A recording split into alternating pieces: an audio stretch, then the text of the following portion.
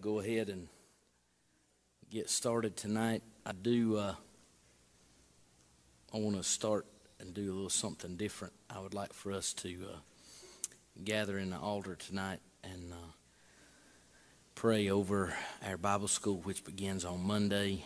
Pray for all the students that will be involved and and um, that will be coming, and, just ask God to move in a mighty way. We got a uh, special guest going to come this week, uh, this coming week, and he'll be sharing the gospel and and um, and looking forward to having him come and be with us. Uh, and then the rest of the week's going to be good as well with different things. But uh, I'd like to start tonight and us uh, begin in the altar and uh, begin to pray and just lift up our, our vacation Bible school. Um, does anybody else have a prayer request? Miss Lula, how is Joe doing? Good, good. Anybody else have a, a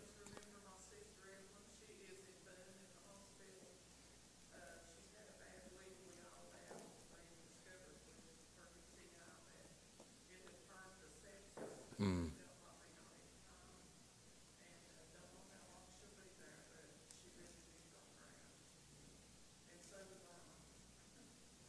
Definitely. Definitely. Miss you.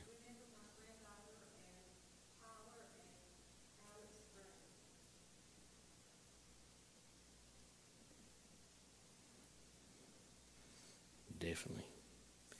Anybody else?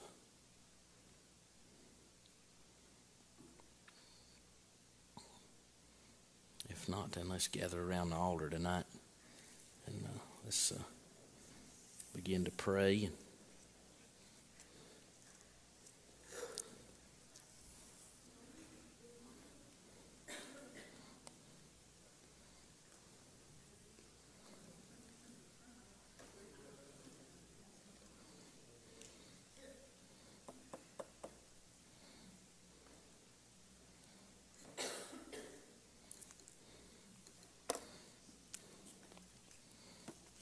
Let's pray. Lord Jesus, we just come tonight and I just want to praise you and thank you, Lord, for your mercy and your goodness. Thank you, Lord, for grace that is ever abounding, Lord, around us. Lord, the, the strength to be able to be here tonight, the, the health to be able to come to worship, uh, the freedom to be able to worship. We just praise you for that. And Lord, tonight, I ask that you would touch us, Lord, as we look into your word and help us, Lord, to glean from it, to be able to uh, walk closer with you. Uh, Lord, as we heard on Sunday, uh, Lord, that, that close that close walk, that uh, continuous uh, connection with you is what we are in need of. Uh, Lord, and your word says that without you we can do nothing. And Lord, I confess that to you tonight. Uh, Lord, Lord, that I can't do anything, but Lord, that there's nothing impossible with you.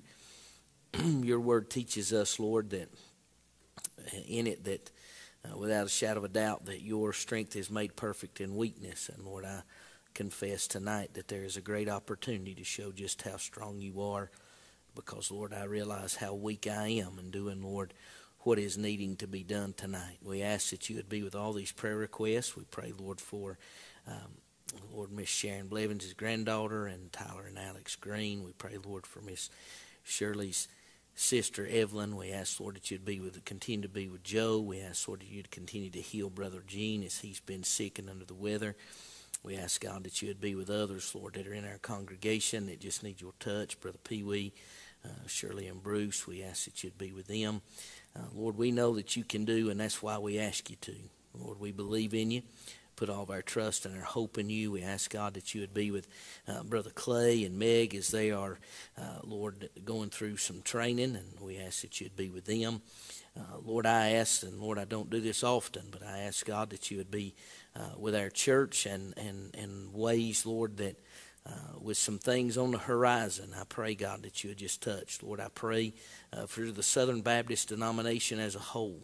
Lord, that we would um, wake up and Lord, that we would see what is, uh, Lord, the greatest need of the hour, and we pray that you'd be with us, Lord, uh, and that you would strengthen, uh, Lord, the things that need to be uh, held fast to.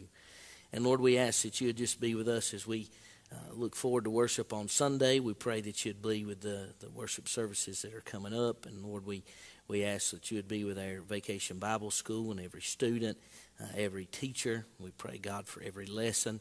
Brother Lewis, as he travels, Lord, to share the gospel, we ask, Lord, that you just be, and Lord, that you'd work in a mighty way. We thank you, Lord, for your blessings. We thank you, Lord, for your goodness. Be with us tonight, Lord, as we look into your word. In Christ's name we do pray. Amen. Amen.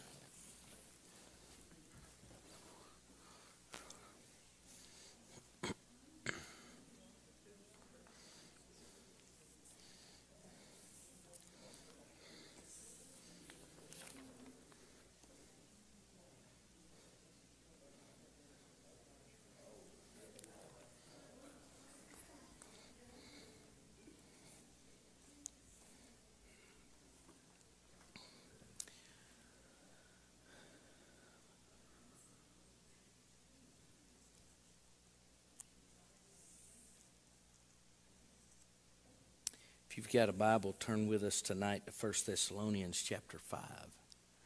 1 Thessalonians chapter 5. I don't know if you noticed or not, but I got a Bible laying on the pulpit and I got a Bible in my hand. Uh, last night of the revival over at Yellow Mountain, I carried both Bibles in and carried both Bibles to the pulpit. And there was a man asked me, he said, Have you loaded both barrels tonight? Um, to be honest, uh, the my Bible that I've been preaching out of for years, uh, I've about wore it out, and uh, I had to uh, glue it while I was um, going back and forth to uh, Yalla Mountain. And uh, there's a place I can send it, and I can get it rebound and fixed, but I'll have to do without it for about six weeks to six months, depending on where they are, and being backed up and they can't guarantee me that all the pages that I need to stay in it can stay in it, and so I'll just keep Gorilla gluing it. And uh, so I bought one, but it's like toting around a locust log when I try to preach. And uh, so this is, I bought this one to carry while I'm preaching, and uh, paid $10 for it. And I got to thinking after I done it, I've probably in my ministry bought probably 10 or 15 of these and God's always asked me to give them away. Uh, and so I'll get to preach out of them for a little bit, and then I'll end up giving somebody a ride in a truck or something like that, meet somebody, and he'll say, I need you to give them that Bible. So as long as I can go to Dellinger's and buy one of these, we'll just keep doing it. But uh, um, but anyway, so I'll I'll be toting this one. But that don't worry, it's kind of like a, a, a fellow went one time. A young couple young boys they decided to go to each other's church, and one guy went to the Catholic church with his buddy, and they were asking, you know, what does this mean? What does that mean? He was like, oh, it don't mean anything. And uh, he said, uh, so he went with the Baptist young man, his Baptist friend, and they went. Baptist preacher got in the pulpit, and he said, "What does this mean? What does that mean?" When that preacher took off his watch and turned it upside down, laid it beside the pulpit, that Catholic young man said, "What does that mean?" He said, "It means take your shoes off. We're going to be here a while." Don't mean anything necessarily for me to carry both Bibles with me in the pulpit. It's just so I don't tear one up. But 1 Thessalonians chapter 5, if you'll remember, uh, back on around Mother's Day, uh, when I preached to you on the woman with the issue of blood, and the title of the message is I'm Holding On, uh, I, I, talked about that the scripture deals with uh, some instances where it says to hold fast. And I said that I would probably uh, begin a short series of sermons on Wednesday nights uh, about holding fast. And now, uh, if you read the scripture, there's several different portions where it talks about to hold fast. Uh, but some of them are meaning the same thing. If you look in the book of Revelation, it means to hold fast uh, those that you have to what you have. That's actually used a couple of times.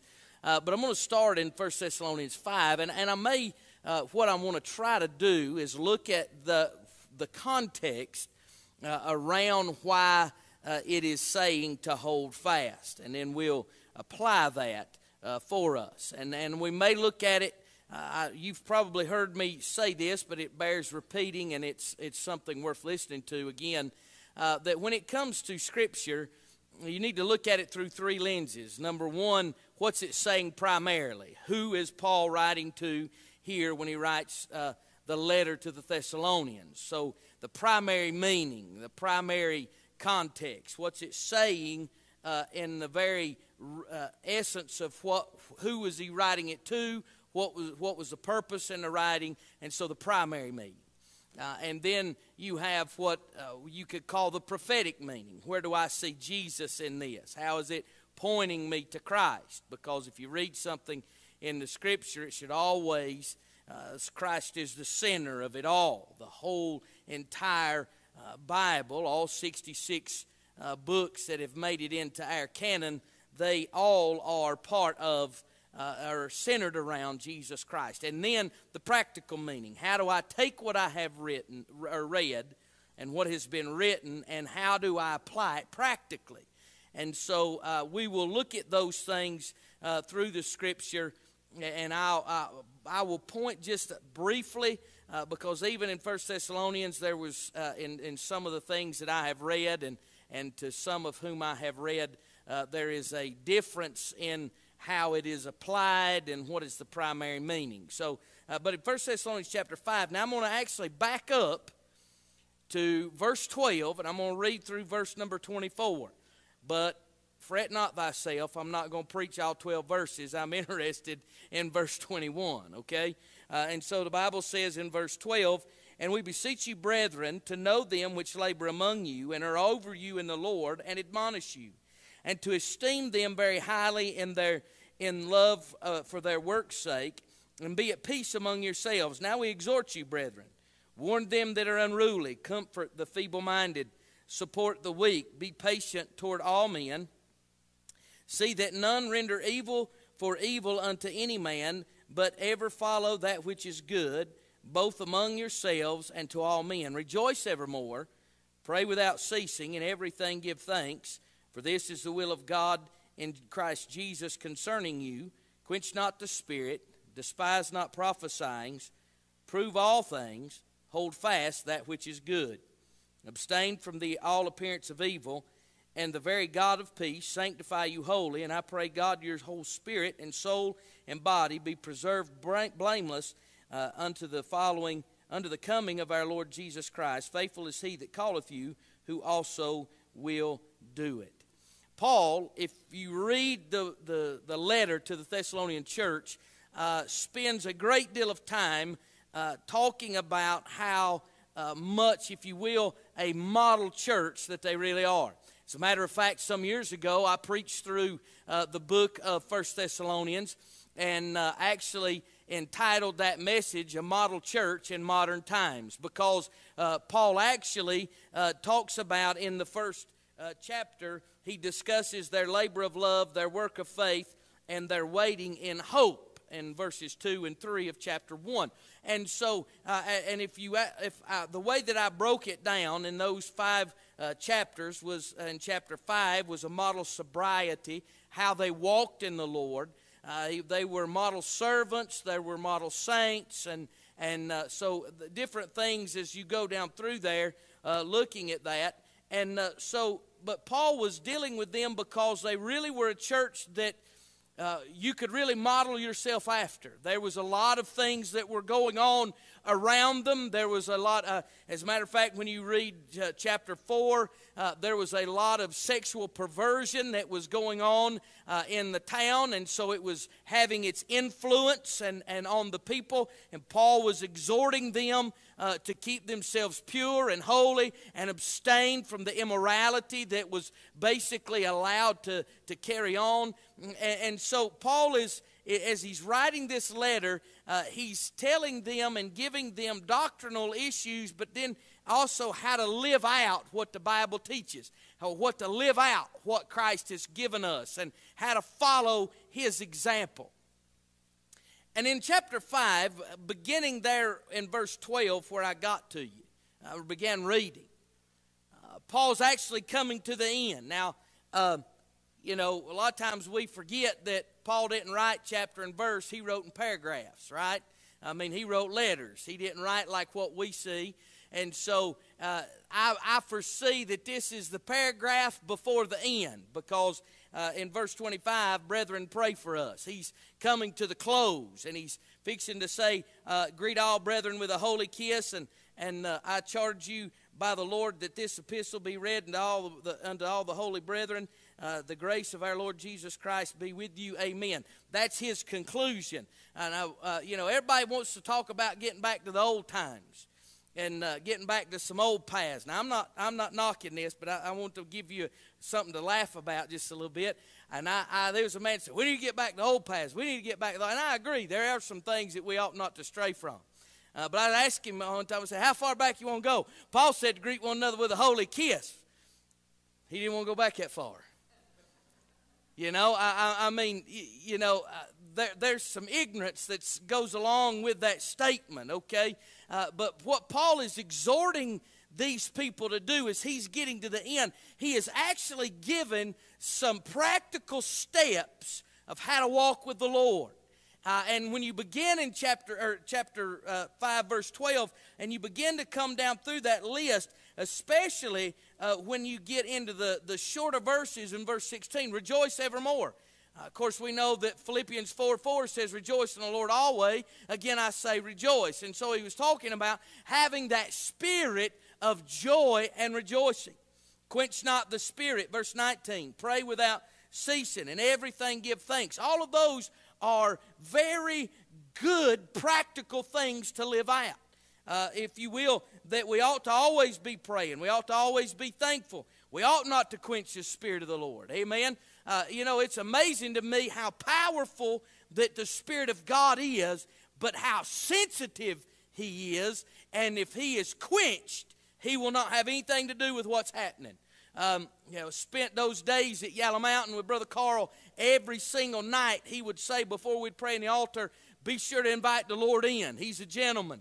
He's not going to come busting in. He's going to come in invited. And, and you and I need to understand we can still have a church meeting without having a meeting with Jesus.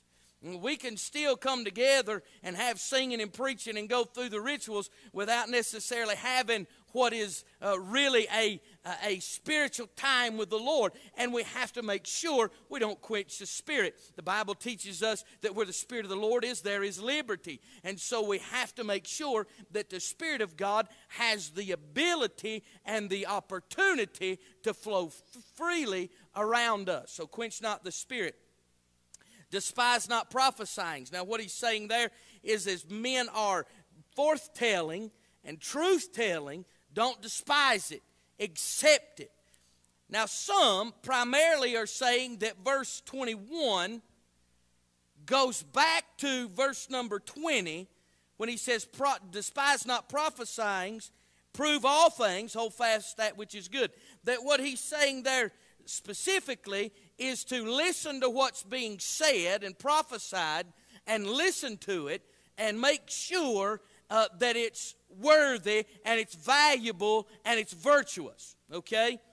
I believe, I believe, as I have studied it and read it out, that Paul is saying, despise not prophesying, and then the next thing to walk in a the life that Christ would have you to walk in is to be sure that everything is put to the test, including the preaching and the teaching, including what's being said, but in everything. I, I believe songs ought to be proven. I believe sermons ought to be proven. Speakers ought to be proven. Amen. All of it. And so, uh, what when he comes to verse 21, prove all things, semicolon, hold fast that which is good. And so the thought here is to prove everything and hold fast that which is good. Here, here's how I'm going to break it down. Two points. How about you on a Wednesday night? Only got two points for a Wednesday night message. The first one, scrutinize everything. Secondly, secure what's good. Make sure you put everything to the test. Now, the word prove means to examine. It gives the, the idea of examine it, testing it, uh, and it's actually was used, that word was used in trying and testing out metals to make sure they were genuine and real gold and silver. Put it to the test to see if it'll work. I, I mean, just this past week, we were working at, at my house, me and Matt Stafford. And this is just a good example. I need to change the light bulb. Now I've got a light bulb, I've got a ladder out there at the barn that'll reach the top of the barn, but it's absolute bare to waller it up there. And I knew I was only about that much too short of reaching it on what I had in there, and I knew that Matt was about that much taller than me and could reach it. And so I put an old set of sawhorses underneath the, the, the light bulb.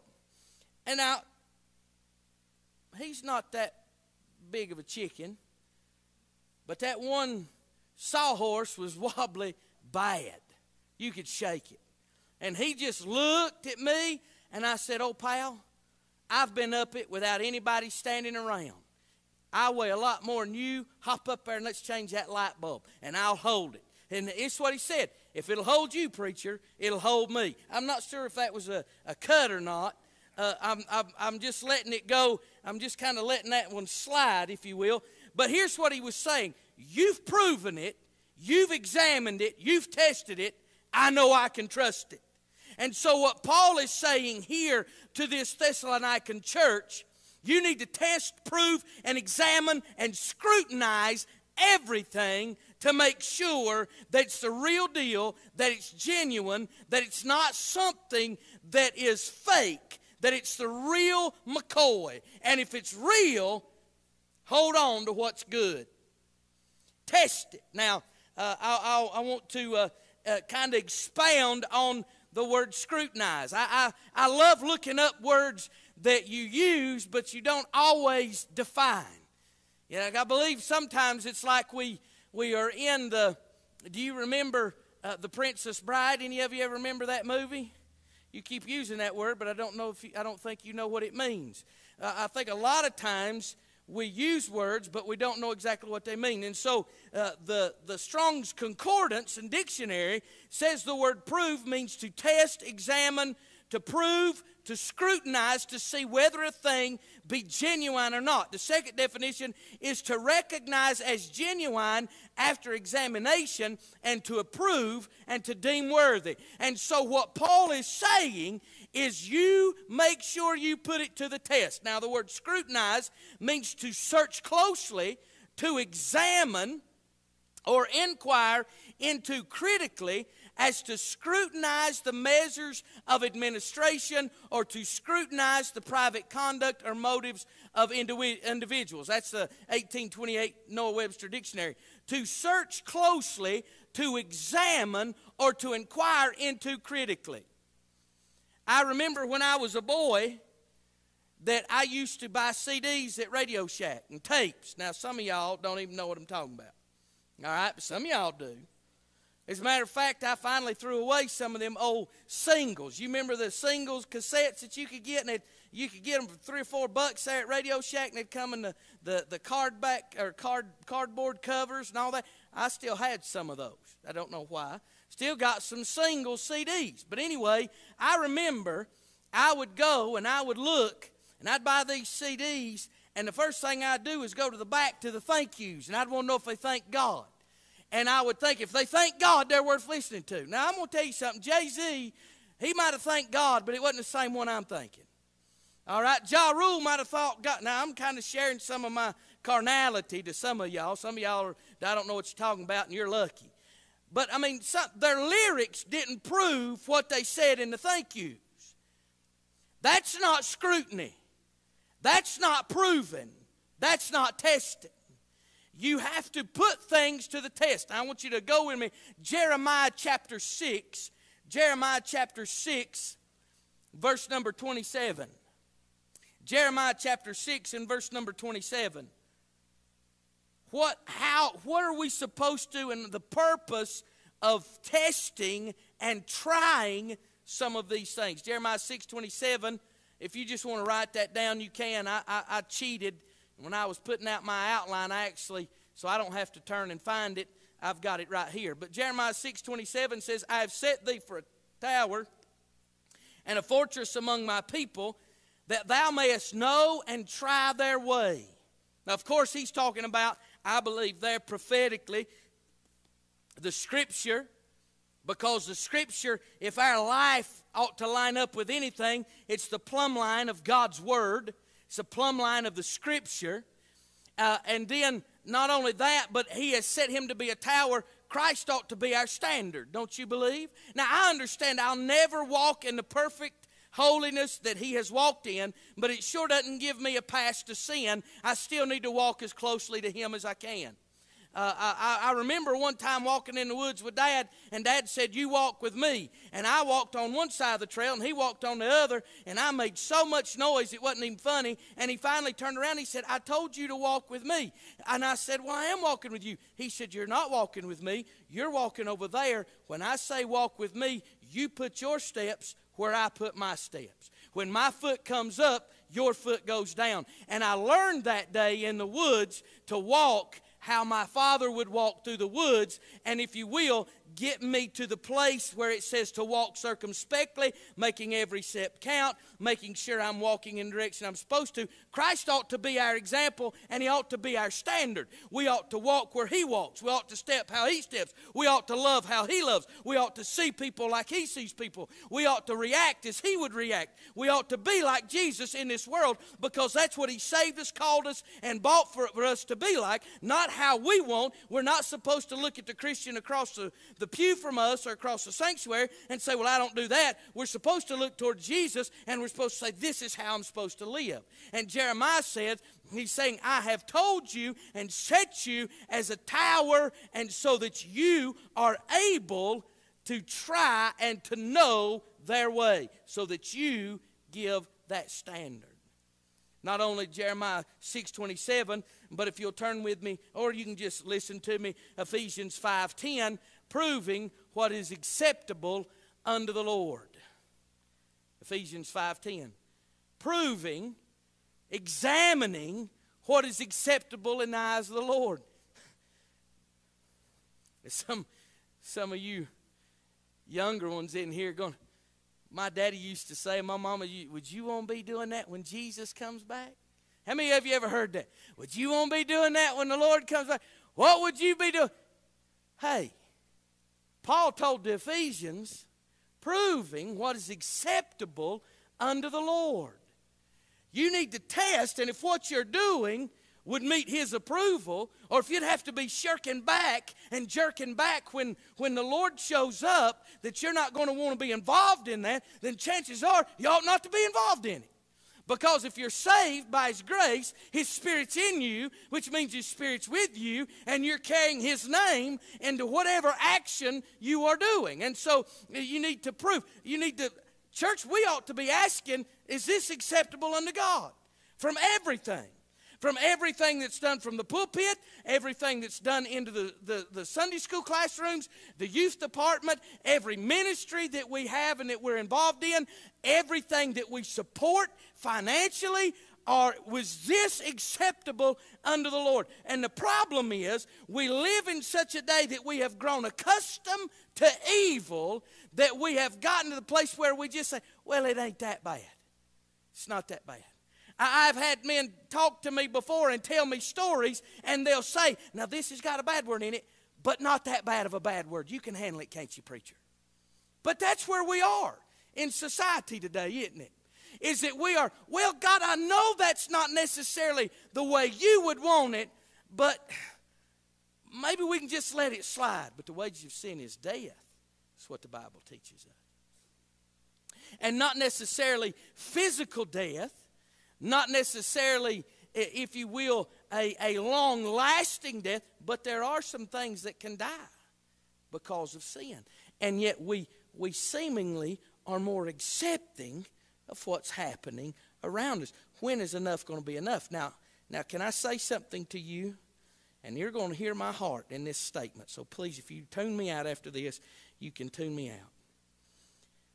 There is a church crowd that tries to be so holy that nobody except Jesus could be acceptable in their presence. there is a crowd that sets the standard so high with their religious beliefs and traditions and their own ideas that nobody can make it in that group. And then there are those that are over here that say, well, he loves you, it's going to be okay. There are two extremes, and I believe Jesus Christ wants us to walk in a fine balance in between. Now, why do I see that? Why do I say that? Because when you find Jesus, he was hard on the religious crowd, but he was gracious and compassionate to the sick and the sinful. Now he doesn't he did never once condone sin. He would say, Go and sin no more. He would pull them out of that. He would show them a better way. But not a single time did he say, Well, we'll let this one slide. And so, you and I, as a church, what is acceptable? Proof what is acceptable unto the Lord. We have to make sure that we walk in that closeness to where there is the, the crowd over here that thinks that whatever should go should go, they think we're too strict. And the crowd that over here that's so strict, they think that we're too liberal and too loose. And if you walk that line, you'll walk right where God can use you. Amen? Do I have some agreement on that? Because the problem is, the problem is you've got that crowd over here that are ridiculous in their standards. And then you've got this crowd over here that's ridiculous in their lack of standards. Jesus is my standard. The scripture is my guide. And so, if I follow his footsteps and believe his word and walk as he would walk, I believe I should be okay. And then there, I will be able to prove what is acceptable unto the Lord. Do you know why? Because his character and his word will never contradict. His character and his word will never cause confusion. His character and his word will be two parallel lines. And if you know anything about parallel lines in, in, in math, and, and, that they have no, they have that, that as long as infinity can go, they never cross. They never mess up. And that is exactly the character and the Word of God are like two parallel lines, and they never contradict, and they never cross each other. And if you will walk between those two parallel lines, what some wonderful boundaries there is to it. And then there's that crap. I'm gonna, I'm gonna run this rabbit for just a little bit because I feel I told you it's only two points, so I got a little leeway, right? There's that crowd that says, I don't want any rules, I don't want any regulations. Thank God we have got two white lines that are painted on the road and then a yellow line in between. Amen? Because those two white lines let me know if I go to the opposite side of either one of them. If I go too far left, I'm in the ditch. If I go too far right, I'm in the ditch. And it, but if it also lets me know if I'll go between the yellow line and the white line, there's safety right there. But if I cross that yellow line, then there's going to be a wreck and probably death. Amen? Or great injury. Apply that same thing to the Christian life. And if you and I will walk between the two parallel lines of the Word of God and the character of Christ, then there is a lot of freedom and a lot of life to be lived in between those. But if I go too far left, I'm hurt. If I go too far right, I'm hurt. The problem is walking in that middle because you've got the, the, the ones that are on the left that say that you're ridiculous, and then you got the ones that say on the right that tell you you're going to hell because you don't have the same standards that they have. I just give them guys a thumbs up. God bless you and go on. I ain't going to argue with them. And I'll be honest with you, I used to did. You can ask my wife. I'd get fiery, mad, argue, and I'd think, I'm going to straighten them boys out. And if I can't do it with love, I'll do it with a hammer. And now I've kind of got to the point and the place in my life to where, listen, there's too many people that are literally dying and going to hell to argue with you over pants or dresses, to argue with you over facial hair or not. I, I mean, I was in a meeting and I had a man that stood behind the pulpit and preached, and he said that a man of God shouldn't have any facial hair. And, he, and this is what he said. He said, I don't have scripture to back that up, but that's what I believe. And then he was introduced to me at a distance, and he said, That boy ought to shave his beard, because until he does, I'll never ask him to preach. Well, I want to I want to just say publicly right here, I don't want to preach in that kind of pulpit. Because that's ridiculous. I'm not going to argue with you over whether or not you got facial hair or not. Amen? but I, I, I mean, I, I don't really, I mean, what are you going to do about John the Baptist? I mean, we lived in a day where Charles Spurgeon and those men, they believed if you didn't have a beard down just about your belly button, you wasn't a man of God.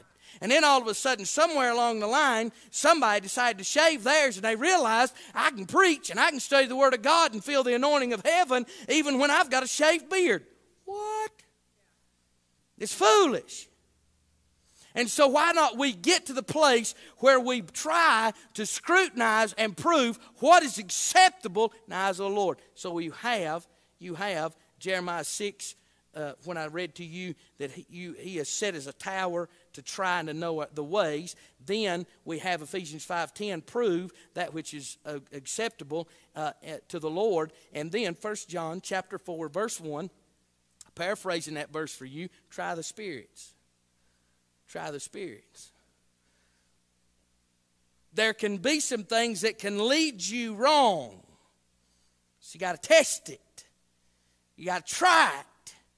You got to prove it.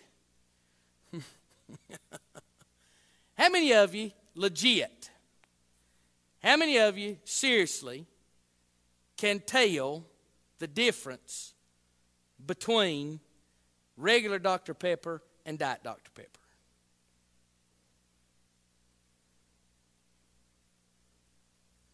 How many times when they get it mixed up do you have to take two or three sups and try to convince yourself it's one or the other?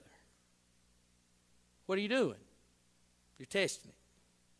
You're trying it. Because they're so close. They're so close. We are living in a day where things are so close. We are living in a day where there's just enough truth that it's easily to deceive. As a matter of fact, the Bible says that during the latter days, that if it wasn't for the Spirit of God, that even the very elect could be deceived. And so you and I have to have enough of the right stuff to know when it's the wrong stuff. You know how they how they're able to pick counterfeits, right? They don't study all the different kinds of counterfeits. They study the original and the real deal. And so when they see a counterfeit, they know the original and try the spirits. First John chapter 4 verse 1, that is what first that's what John is telling when he says uh, beloved, believe not every spirit, but try the spirits whether they are of God, because many false prophets are gone out into the world. You've got to be willing to put it to the test. We live in this day and time where there's so much that has the appearance, as the, the, the, the New Testament teaches us, has the appearance of godliness, but's denying the power thereof that churches may be big, churches may be strong, churches may be this, that, or the other, but in reality, there is no Spirit of God. There's no anointing, there's no unction. It's missing. Do you know that John also tells us in the first epistle, uh, and, and, and I preached this message uh, while I was in Yellow Mountain, how do I know that I'm saved? But he talks about that I know that I'm saved because I have the unction from heaven. I've got something that's hooked me up to a different world the Holy Ghost. And so, John is saying, try it because there's so much that can deceive. We are living in that day. So, we have to put things through the scrutiny of being tested and examined to make sure it's real, to make sure it's the right stuff. I remember being in school. We were doing something about gem mining and all of that. And there was an old boy come and he had, I mean, it wasn't that big, but he had a, what he said was a gold nugget. He said, I'm going to tell my daddy he don't have to work no more. Look what I've got. And what he had was a big chunk of fool's gold. He was convinced.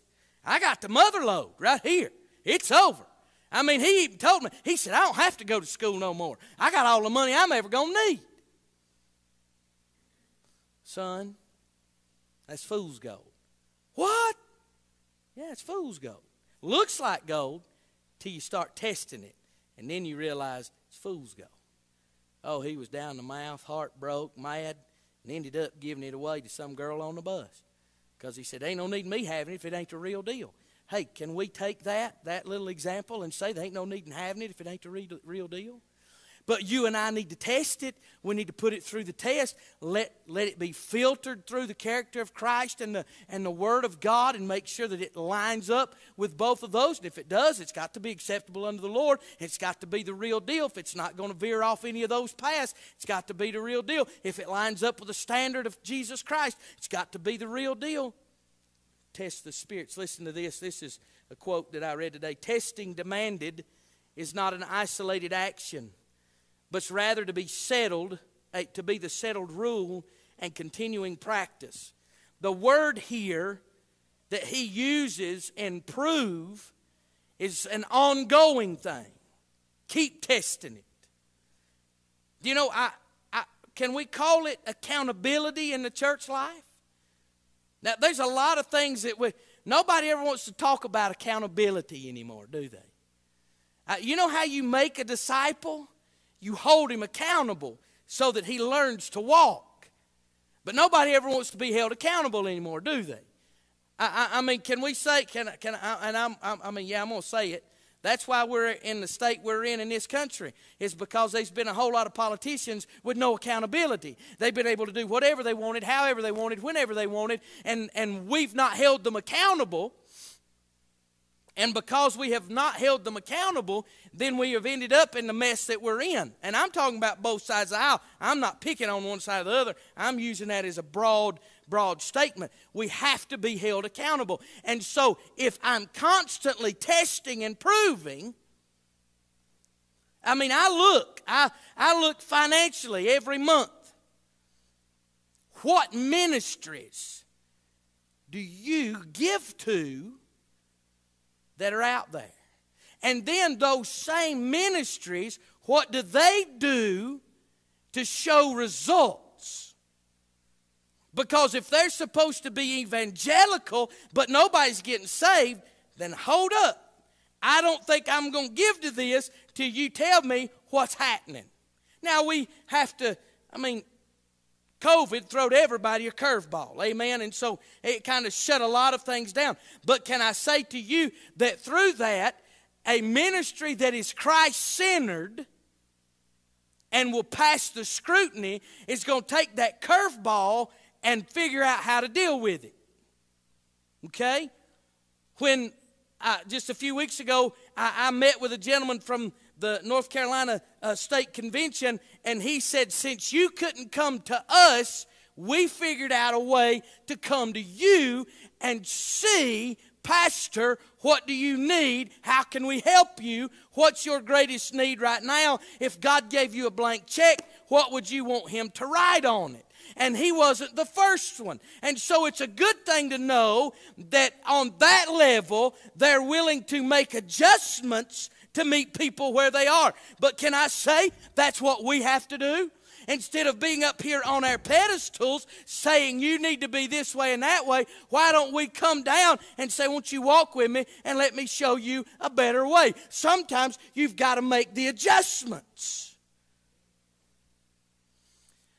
I, I'm, I'm not putting things down, but tent meetings don't have the same effect that they did in the 50s, 60s, and 70s what does is meeting somebody out there in the world, as the Great Commission says, and as you're living, tell them about Jesus. Because I'll be honest with you, unless they see me and you living it out there, they ain't going to come in here. They ain't going to come listen to some pot bellied preacher harp for 45 minutes if they don't see him living it out there, right? And so we have to live it. And so Paul is saying, listen, prove everything and put everything to the test, and then, and then keep testing it and keep trying it to see if it's still effective. See if it's still working. Monday evening, I had, and if anybody wants anything to do for the next three days, I'm going to be putting eight foot pressure treated posts in the ground and five inches around, eight foot long. I can use all the help we can get. I can sit them posts in the hole if you'll dig the hole. Because I was digging with that that auger and and it said you can run it by one man. If you run it by yourself, it'll kill you eventually. But I was trying my best to dig this hole where it needed to go, and I was putting it in the ground, putting it in the ground, putting it in. Can I say, after about 45 minutes on that one hole, I finally decided this ain't working. I got to do something different. Come to find out, I was on a I, I, was hitting on a piece of board about that wide, and when I and I finally broke through it, and when I broke through it, I was there was a piece of slate rock about that thick underneath it, and I just said, forget it. I'm gonna wear myself out on one. I got a whole bunch more to do, and so I left it. Sometimes you and I have to keep testing and saying, is because it worked last month, is it gonna work this month? Because it worked in 1970 doesn't mean it's going to work now. Just because it worked in 2000 don't mean it's going to work now. And so you've got to be willing to keep testing it and proving it and making sure. Because let me tell you something the standard will never change, it'll always work, and that's Jesus. The scripture never changes, it'll always work. So we can trust those two. And let's just make sure everything else. Scrutinize everything secure that which is good. Hold fast, he said. Hold fast. The word, the phrase hold fast, comes from two Greek words that literally means to hold or to force down. And it literally gives this definition of to keep secure and to keep firm possession of.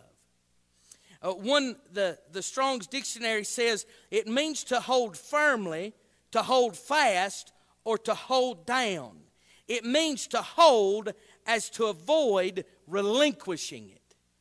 And so, in other words, I'm going to hold on for dear life. When I was in high school, we went whitewater rafting. And there was more of us than there were guides. And so, for some reason, them people thought it was a good idea to put a bunch of high school boys and one guy that had never been on a boat in his life in their own whitewater raft, and they said, just stay close. I, I, I never will forget. Just stay close. Uh huh. Okay. And I never will forget, one of them boys' daddy told him, if you drop that paddle, I'm going to take that $75 out of your hide. Okay, daddy. And I never will. Somehow, some way, all six of them other boats was on that side of the river. And here we were on this side. Every guide on that side hollering, You got to get back over it. We're trying. I mean, it was like a Jerry Clower tale, okay? I, I, mean, they're over there screaming, Get on this side. We're over here trying our best. We're hooked up on rocks, can't get. And I never will forget, my buddy dropped his paddle. Man overboard. He jumped. I mean, you go through all that. Do not do not get out of the boat. I'm, i cannot tell you how many times we were told to not and he dropped that paddle and the next thing i heard was kaploosh and out he goes. And i said what are you doing? He said i gotta get that paddle because i don't want $75 out of my hide. So he grabs hold of the paddle and i grab hold of him. The guy who is our guide who we brought from spruce pine is standing there in the boat yelling at me, Nate, don't turn him loose. And I'm holding on just as tight as I can because this is my friend. This is my pal. I've run behind him in football. He's kept me from getting killed while I carried the ball. I won't, and I'm holding on to, they're yelling, you hold on to him. And I'm telling him, don't let go of that paddle. Holding on, not willing to relinquish it. To this day, I still don't know how I got, because he outweighed me by about 150, 160 pounds, and I don't know how I got him in that boat. Just adrenaline and everything, and I, I chunked him in the boat, and I never will forget. He was laying there, eyes closed, with that paddle in both hands, just like he was shaking. And I, oh, pal, you can open your eyes. It's all good. We're all in the boat. Somehow we got in the right current and it got us over there with the rest of them. I ain't never been whitewater rafting since. The idea that Paul is saying, listen, when you put it to the test, what you find out that is good, hold on to it to the point of where ain't nothing can take it out of your grasp. Hold on to it that, to the, and to the point to where you are not going to relinquish it. You're going to hold with everything you've got. Hold fast to that which is good. The word good means virtuous and valuable. Can I say, hold on to what glorifies God? I, I, made a little list. For those of you that are willing to, to, to, to follow me and, and, and make your list as well as I, uh, that which is good, what will, what will, uh, what will, satis- what will magnify the Son? What will satisfy the Spirit? What will glorify God? What will edify the saint? What will evangelize the sinner? All of those things will prove to be something good. What is taught and tested by Scripture. If you and I, those things, whatever will evangelize the sinner, whatever will edify the saint. Can I, can I go back? Paul tells us in the book of Galatians that all things are lawful to me, but not all things edify. What he is saying there is, I may have a license to be able to do as I wish, but if I do what I wish, what's it going to do to edify the church? What's it going to? Is it going to cause a stumble? I, I, you and I are going to fall under one or two categories in people's lives. We're either going to be stepping stones or stumbling blocks. Which are we going to be? Are we going to be a stumbling block to where in their Christian walk they stumbling over our actions? Or are we going to be stepping stones that will get them to a higher plane with the Lord? And so what edifies the saint. And if it edifies everybody, not just one, not just two. Now, I'm talking, there may be some preferences, but I'm talking about convictions that are backed up by Scripture, chapter and verse that we can turn to because a conviction will work on every continent. A preference will only work around people that have the same preferences. Amen? I, I mean, last week while I was uh, over there preaching at Yalla Mountain, there was only about three people that drove Chevrolets. The rest of them drove Fords. I told them, I said, I know why the Lord sent me to this place. and every night I made some kind of comment, you know, something about it. Half that church didn't even know Peter Pan peanut butter was good until I showed up. I'll tell you a funny story. They brought they come in one night and uh, they said they brought me a, a, jar of peanut butter, and I said back in the old days you used to pay the preacher with chickens. I said this these people over here paying him with Peter Pan peanut butter. Glory, hallelujah! I'm close to heaven. They just thought that was hilarious. But I had I don't know how many people. I bought my my first I bought my first jar of Peter Pan peanut butter today, I didn't even know if it was any account. Changed your life, didn't it? I got talking about the first night how I wanted a pecan waffle. I don't really call them pecans, I call them pecans, but I wanted a pecan waffle from Waffle House. Took me three towns to find a Waffle House open so that I could get one. But there was some ladies coming. They said, "You've inspired us. We've never had a pecan waffle from from Waffle House." I said, "Get you a pecan waffle and get some peanut butter uh, sprinkles on top of it, and I promise you, get you a black cup of coffee, and your life will be different from that day on." Amen. But you see, all of that's preference. All of that, that, that, the preacher's boy said, I went to Waffle House today. He said, I didn't much like that pecan waffle, but I did like them peanut butter chips. That's his preference. I'm not talking about, I'm not talking about holding on to preferences. I'm talking on to things that have scriptural value and virtue to them that have been tested. I still believe it's through the foolishness of preaching that God draws sinners. I still believe that the blood is what is needed for the salvation of men's souls. I still believe, I still believe that singing plows the dirt for the seed to be planted in, and if it's good scriptural stuff, it'll be a blessing to everybody. I still believe that. But now that's not, none of that, none of that, none of that is my preference. Now you can go to bluegrass, contemporary, or southern gospel, red hymn book, white hymn book, blue hymn book, chuck wagon book, whatever you want to. I've got several over there. And you know what's funny to me? Is a lot of them hymn books got the same songs in them, just with a different cover. And people think because they got the cover they're familiar with that the song's better in that one. Amen? I, I, mean, I got cracked up today thinking about that because most of the songs that we sing are all in the same book. That's preference. But where the Bible teaches you and I to encourage one another with psalms and hymns and spiritual songs, we need to make sure that the songs we're singing fit that verse of Scripture. That's not preference, that's conviction scrutinize everything, secure, secure, and keep holding on to everything that is good, that's tested and taught by the Word of God. Everything that is within the Word of God that will evangelize, edify, glorify, magnify, and satisfy. And if it'll fit through those, Hold on to it for dear life, like a $75 boat paddle. and I tell you that that daddy was in that lifeboat watching his son hold on to a paddle and be held by another guy. And that daddy was yelling at me, Don't you let my boy go. And when they got over there, when it was over with, that boy showed, he said, Daddy, I didn't lose. And that, that daddy throwed that paddle down and hugged his boy and said, I'd gladly give $75 to know you're all right. They said, Why are you telling us that side of the story? Because I'm right now done. You and I would throw away a whole lot of stuff just to know that our young, our young ones, that our church, those that are around us are going to be okay.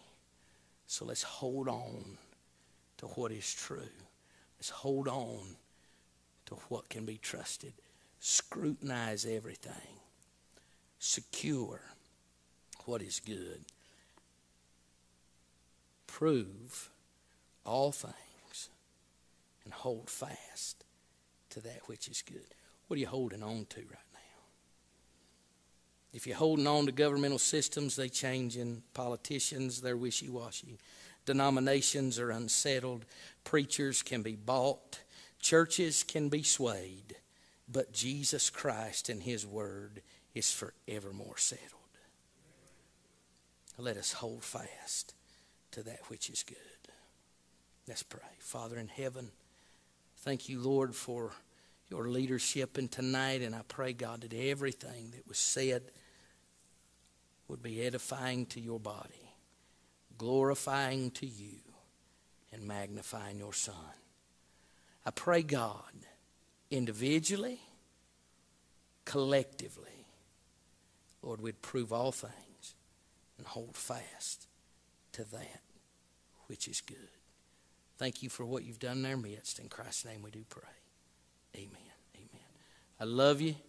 See you Sunday morning, Father's Day, Lord willing. Lord willing, I'll be preaching Romans chapter 8. I am adopted And looking forward to that. So if you will, be praying for that service, praying for the special singing, and looking forward to what God's got in store for us. I love you. God bless you, and we'll